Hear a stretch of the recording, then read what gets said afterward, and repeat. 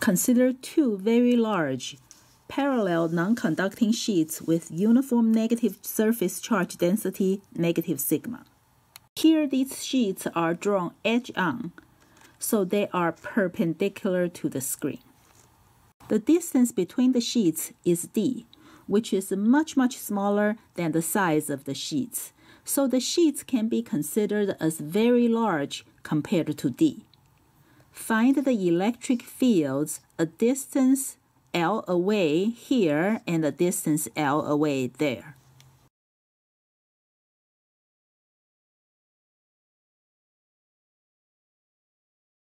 These very large sheets have planar symmetry, so all their electric field lines are parallel to each other and are all perpendicular to the sheets, which means the fields are uniform on the right side, uniform on the left side, and uniform in between. What is the field in between? There is none because the uniform electric field produced by each of the sheets over here are equal and opposite, so the net electric field in this region is zero. To find the field out here, we can use Gauss's law. The closed integral of E dot dA equals to Q enclosed over epsilon naught. Again, when we use Gauss's law to find the electric field, we need to make a Gaussian surface that goes through the location we're interested in. And we need E and the cosine to be constants, so we can take them out of the integral. What Gaussian surface should we make?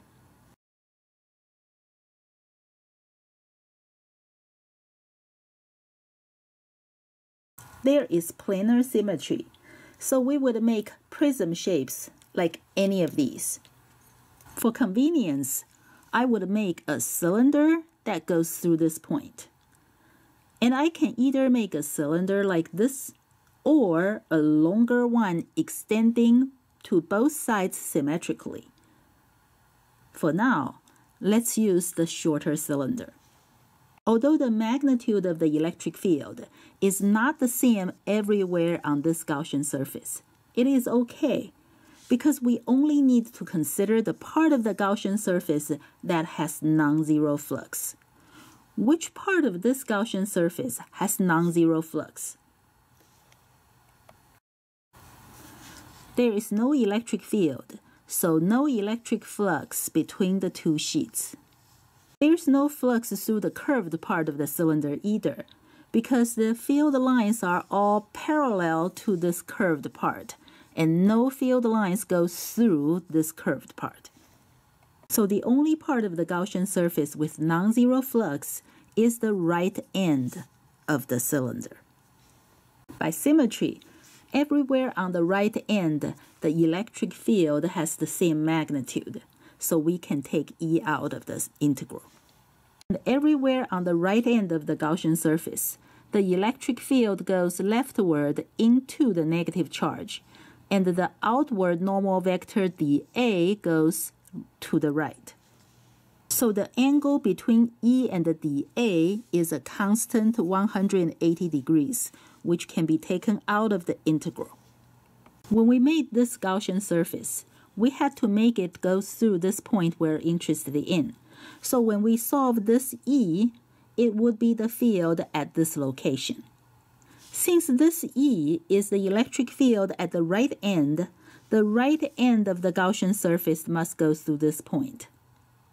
But there is no requirement on how big we must make this area. So we can just make this cross-section an arbitrary area A. So the flux through this Gaussian surface is E times cosine 180, which is negative 1, times the integral of dA for the right end of this Gaussian surface, which is A. And this equals to the Q enclosed over epsilon naught. What is the enclosed charge?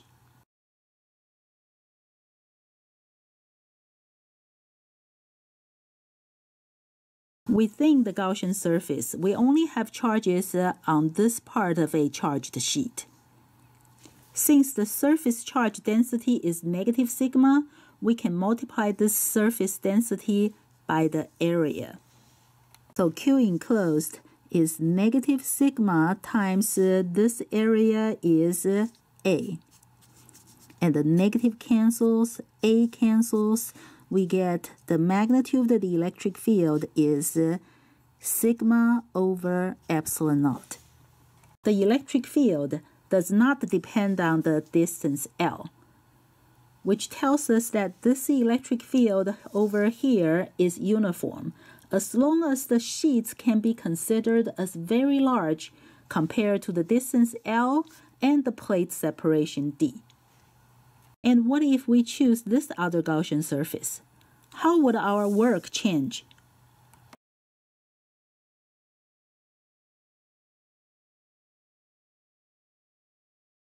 we would have non-zero flux through both ends of the Gaussian surface. By symmetry, E would have the same magnitude on both ends. And with enclosed charge being negative, the angle between E and the dA would be a constant 180 degrees. So this is E times negative 1 times the integral of dA for both ends. That will give us a plus a. The area would integral would be 2a. And then this would equal to the Q enclosed over epsilon naught. This time, the Gaussian surface encloses charges on this sheet of charge and that sheet of charge. They both have the same surface charge density, negative sigma. So the Q enclosed will be negative sigma times the area, which will be A plus A, 2A. So the negative cancels, 2A cancels, and again, of course, we're going to get the same answer. The E is sigma over epsilon naught.